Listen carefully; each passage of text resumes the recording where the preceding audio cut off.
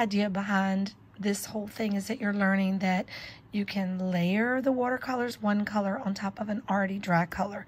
Um, a lot of people have used um, hair dryers in the middle to speed up the process. What I'm hoping that you're going to do is you're going to be able to layer a color over top of an already dry area and you'll see that a third color was mixed where where it crossed, where it intersected. So there's one. I'm going to show you some that work and some that don't work as well. Here's one that maybe is not exactly, they just such dark colors that it didn't work as well as I think that they thought it was going to work. There's no color over top of another color. It's just all too dark. So I want you to have light, choose some colors and do light and dark values of that. This one right here is a really good example of this project. It was very intense. It doesn't have to be this involved, but this is lovely. It's like a lot of crossing. There's a lot of intersection. There's a lot of different colors that are being made where the colors are crossing. Um, but there's this is exactly what I'm looking for. All right, we're gonna try one. May not be as involved as that one, but we're gonna see what happens. So I'm gonna dip my brush in water. I'm gonna pick up, I guess I'll start with a yellow. Do not wet the paper first on this one. You can have your brush wet. If you wanna do, I'm gonna do some lines going across.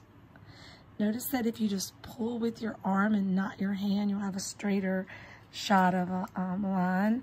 That was yellow straight out of the palette. This is yellow mixed um, with some water. So I'm planning on using yellow and this pink color.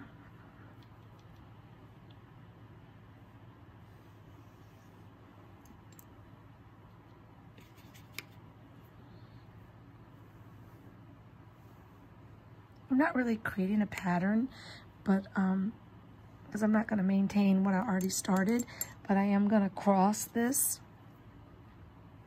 after it's dry. I could put a third color in there if I want. I am trying to make dark and light and thick and thin lines, so it's kind of like your first block. Clean my brush, I go back to the yellow. I'll make a wide one here of a soft yellow. Maybe a really dark line here.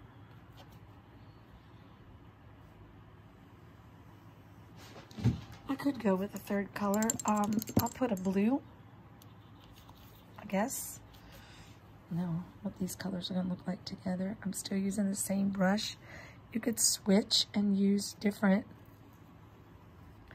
you could use different um, size brushes if you had a wide one or if you had a really skinny one. I'll try to make this a lighter blue. I went too light with that.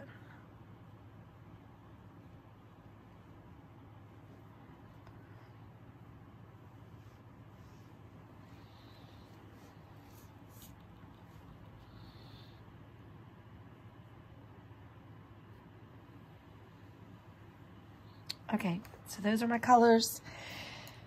I would ask that you stop and let this dry. So I'm going to cut this off and pick it back up. And then after it's completely dry, I'm going to come back across. Do not do it right now. Yes, it's possible, but don't do it because you want it to be dry. Some people might want to use a hair dryer here. I'm probably going to go set this over on the heater so that I can finish it for you today. Um, let's go back and look. There's my salt. I can see it acting in there. I can see this drying and revealing the white. And then I'm going to cut this off and go and dry that.